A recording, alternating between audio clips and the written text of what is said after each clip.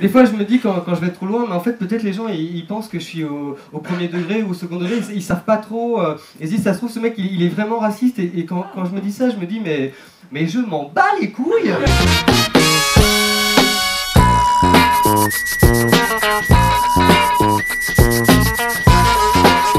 Vous voulez que je raconte?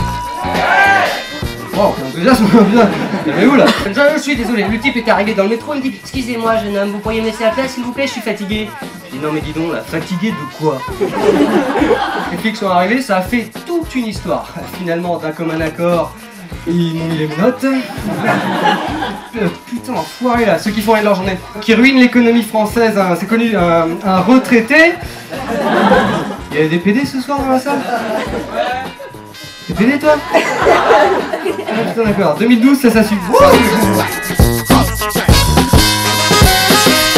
Elle m'a, quitté suite à une dispute, voilà, euh, parce qu'elle s'était fait agresser. Quelqu'un lui a, lui a volé son téléphone portable, en fait, en lui mettant un coup de poing comme ça. Et, et quand elle est rentrée à la maison, je me sentais pas bien, comme si j'étais responsable quelque part de- de courir plus vite qu'elle.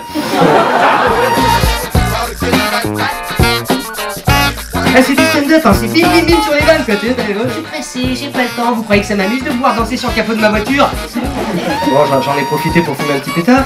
Même ça, c'était interdit. Je vois, il y a des petits musulmans euh, chez moi euh, qui me demandent si c'est rigolo de, de jeter des pierres sur les synagogues comme ça.